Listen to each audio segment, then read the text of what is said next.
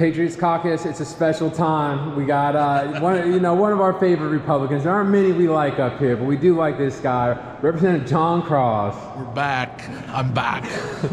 How you doing today, I'm brother? good, man. I'm great. How are you? What, what, what brings you to Columbus? Happy Wednesday. Thank well, you, man. Well, we're working today. We got some votes Yeah. on the floor.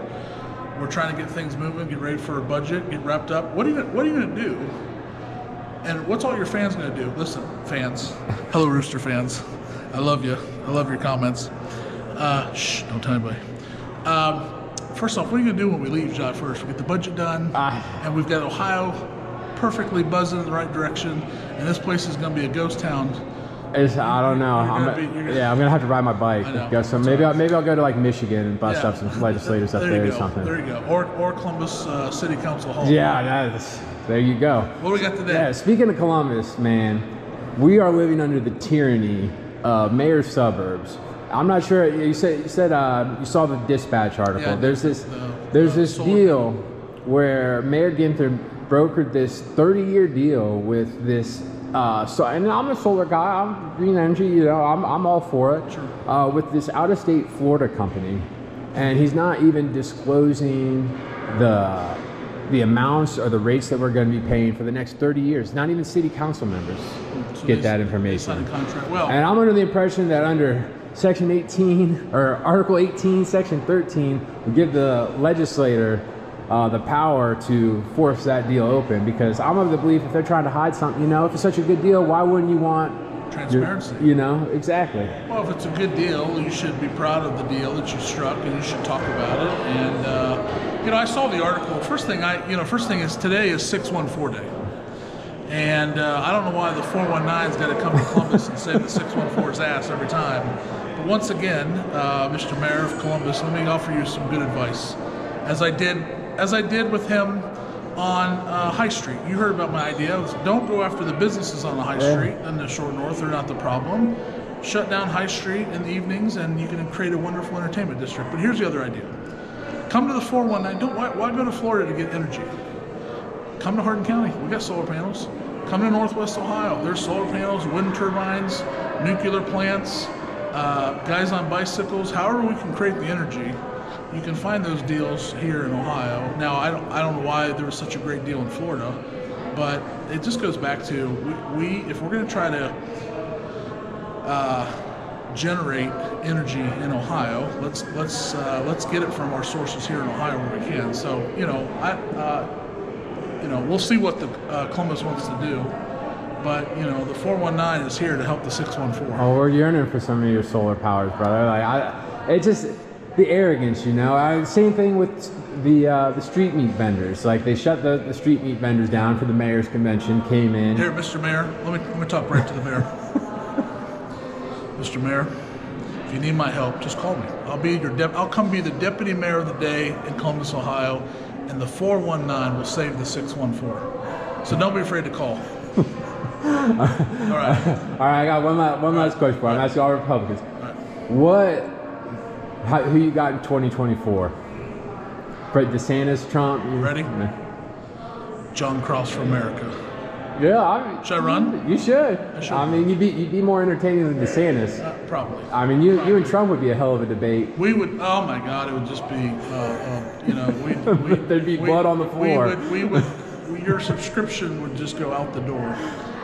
Uh, I don't know. I haven't thought about 2024 yet. There's uh, a lot of people uh, running. Uh, I thought Tim Scott did a nice job in his introduction of his campaign, and uh, the Trumpsters still going to run hard. So we'll see. I haven't. Uh, I haven't backed a horse yet, so I'm just trying to get through Wednesday. I, I mean, I hang out with a lot of solid the earth Republican voters. It's all Where, Trump. where the, is all Trump? I think Yeah. so. Pr- Probably in my district, I'd say there's probably still a lot of uh, solid, hardcore support around Trump. And what is he? Got 70% support right now, or something like Yeah. that. So, um, wouldn't it be great to elect somebody not in their 70s or 80s? right? I Like, see, like pick a side. Like, Yeah. listen, listen.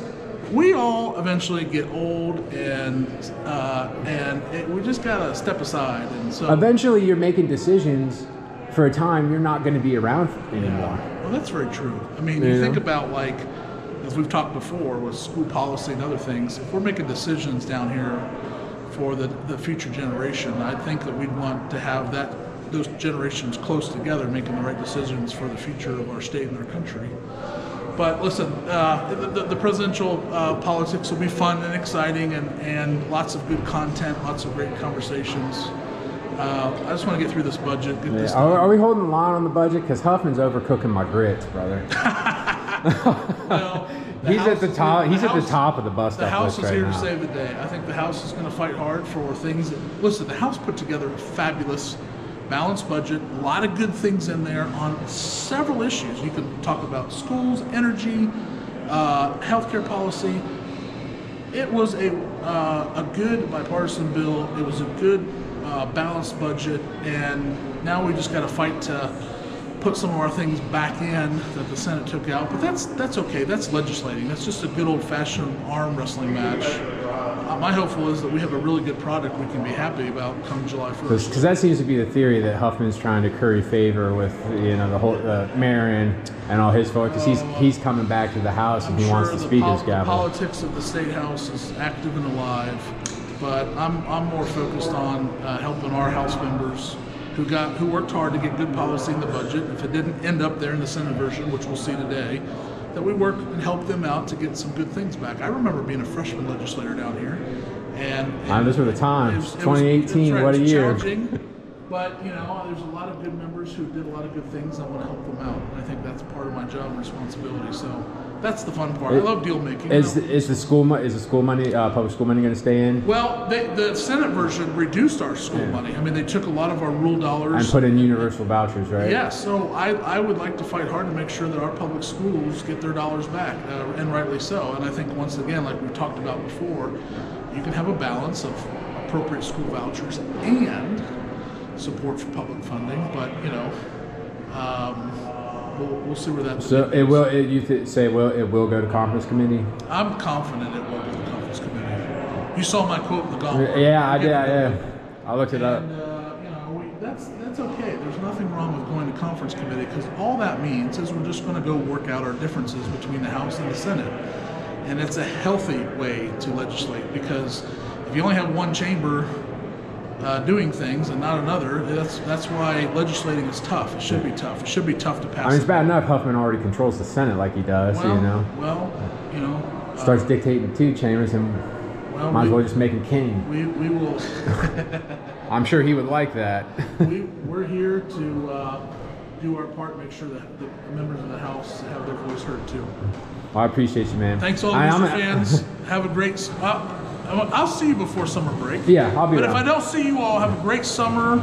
Enjoy your time. Be safe. Have a have a blast. Have fun. I'm gonna keep leaning on you about this energy deal. We, we Oh, need yeah. the numbers. Well, We listen, we, get the numbers. Go go to City Hall and go ask the tough questions. And and uh, if we can provide a better deal in Ohio and the 419 can save the 614, uh, we'll do it. For all those playing the home game, 419 is the area code of where I live. listen, you know, listen, listen, Rooster fans.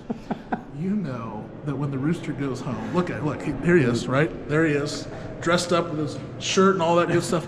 But you know when he goes home and he puts on the robe and slippers, he's like, "Oh dear Christ, what a day I had! I Uh, that's exactly how I talk I too. couldn't park the Range Rover, so I had to take the bicycle." Hey, I keep putting you on camera. I might be able to get a Range yeah, Rover. right.